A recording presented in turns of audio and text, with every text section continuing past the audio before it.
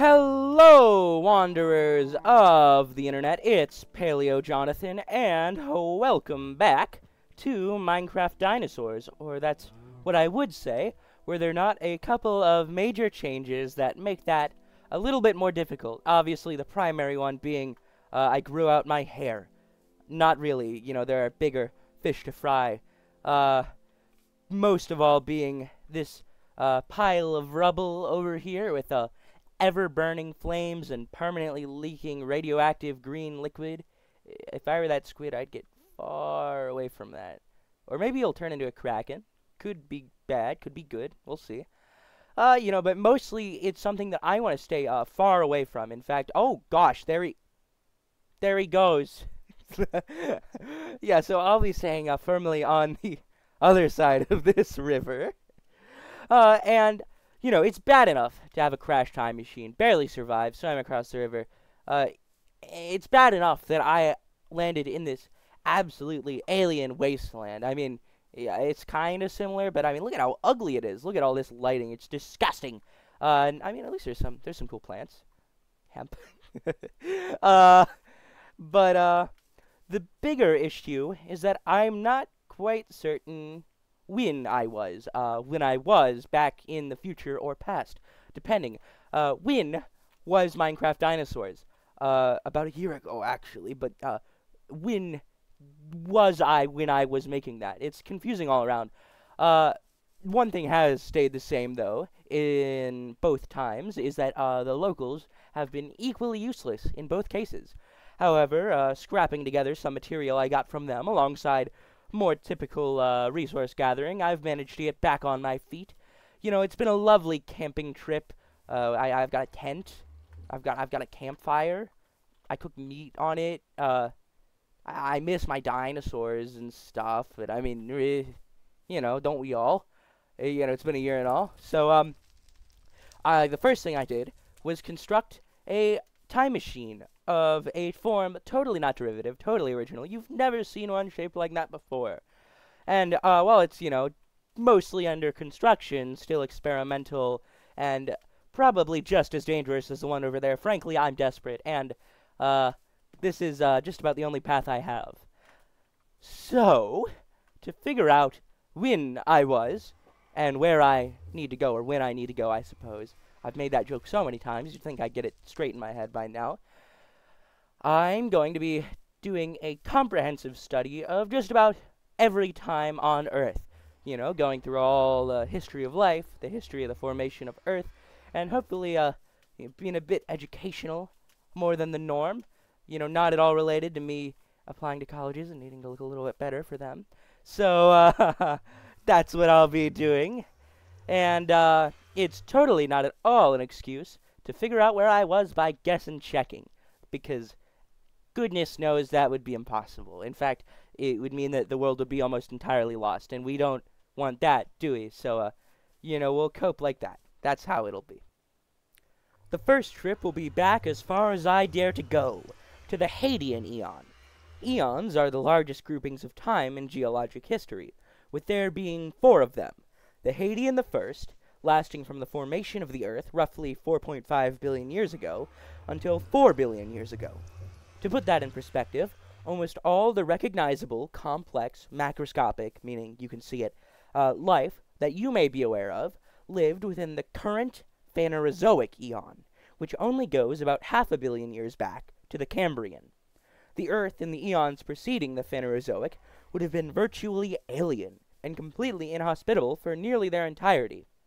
For today's trip, I'll need to wear an oxygen mask in order to even be able to breathe and I'll have to take immense caution not to die from heat, or worse.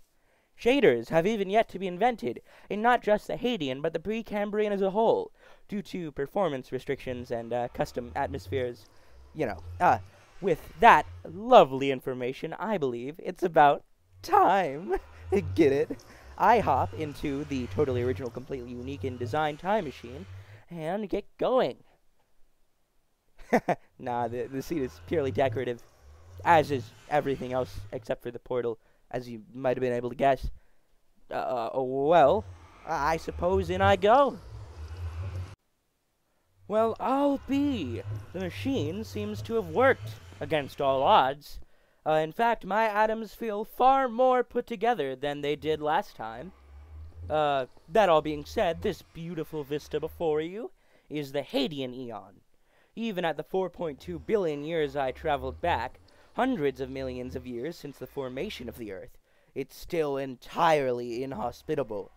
Heat remaining from the formation of the planet, as well as repeated impacts, have caused Earth's surface to remain partially molten, leading to the absolutely hellish landscape before you. It's no wonder it was named after Hades, Greek god of the underworld. It's blisteringly hot even standing far away from the lava. But in fact, by most very rough estimations, this is shockingly cold for the Hadean, a rare moment in which I can survive on the surface without some form of essentially spacesuit. Oh, there's some zircon up here too. I spotted plenty down there, but uh, you know, it's a little dangerous in the giant field of lava and magma. I think this one is perfectly fine as a teaching tool. So, uh, zircon is a mineral, but what's notable is that it's incredibly strong and resilient. Billions and billions of years from now, it'll be the oldest material remaining on the surface of the Earth, the only rock from the Hadean accessible to humans. Most of what we know about the Hadean Earth comes from intense research into clues found within zircon just like this right here. In fact, it wouldn't be half bad an idea to take this as a sample, given I, uh, don't want to get too close to all the other ones over there. Anywho, I need to get walking, taking care to stay, uh, far away from that lava. Don't quite intend to get burnt. But, uh, there's a few things out here I intend to show. And, uh, you know, the oxygen is only going down. As Luigi iconically proclaimed in the episode of Mama Luigi, it's a lava waterfall! I mean, frankly, you really know it's a, a beautiful day when you're watching the sun set onto a actual, literal lake of lava. You know, like it is on Earth. You know, very normal planet, very safe planet. Everything's awful! Ah! Sorry, I've gotten a hold of myself.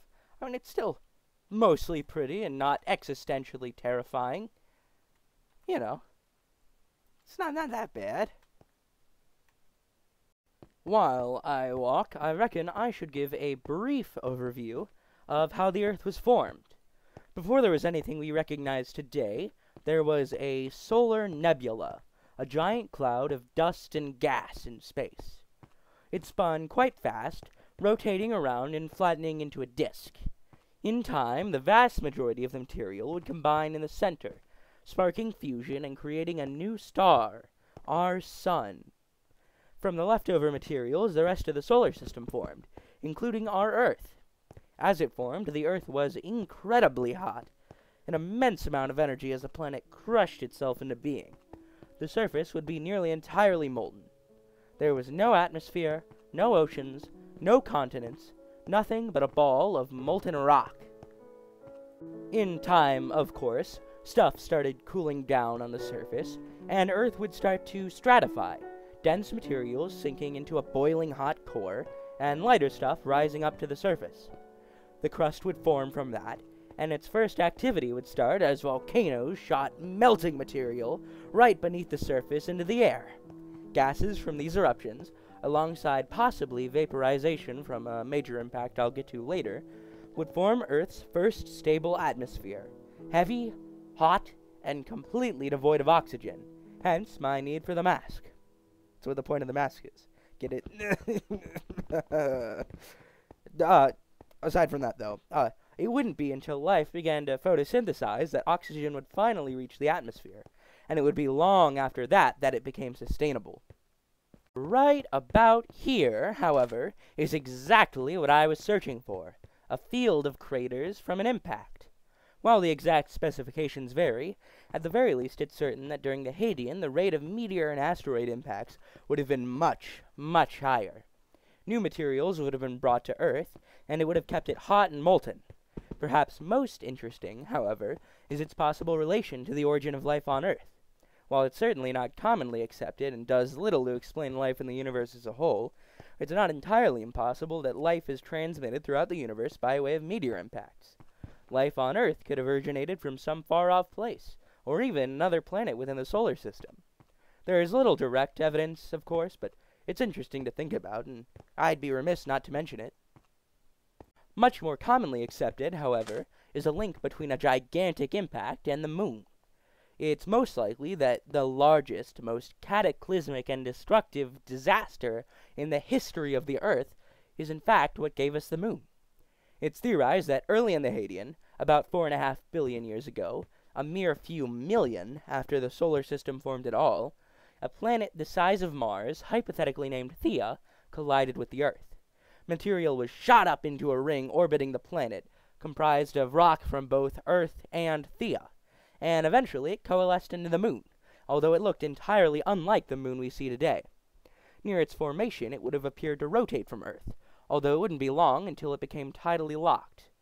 This occurred when the time to rotate on its axis and to revolve around the Earth became almost exactly the same, leaving the same side of the moon to point towards Earth at all times. Even now, in this point of the Hadean, it still appears much larger than it does in the present day. However, in reality, it's just a lot closer.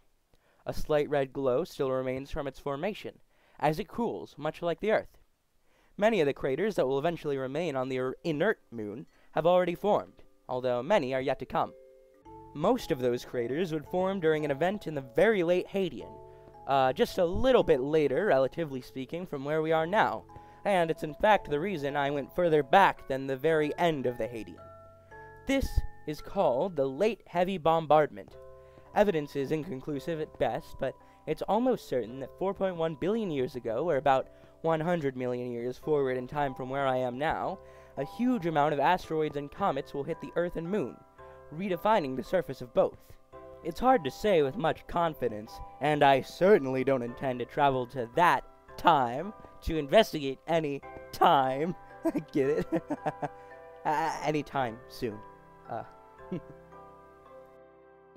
now that we've covered the origin of Earth, the obvious follow up questions pertain to how it developed from there. Where are oceans? When did continents start to form through plate tectonics?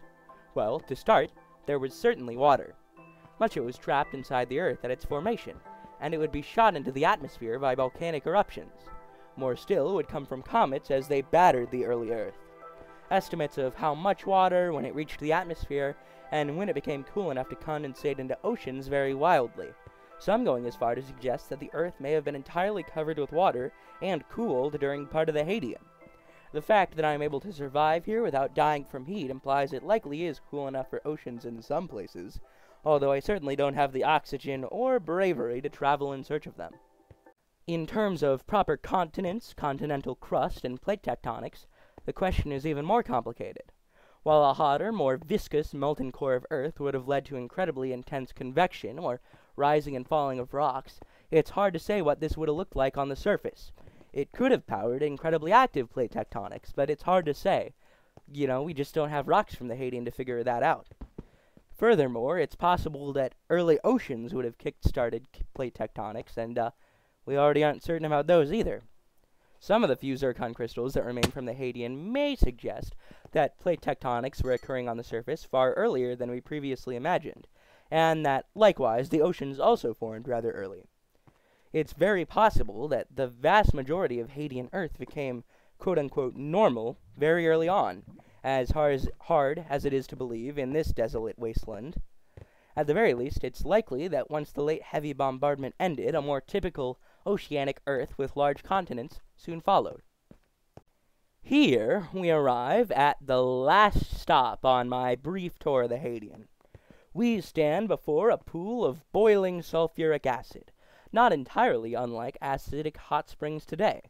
And, just like the hot springs today, it positively reeks of rotting egg, or perhaps more properly, rotting eggs reek of sulfur.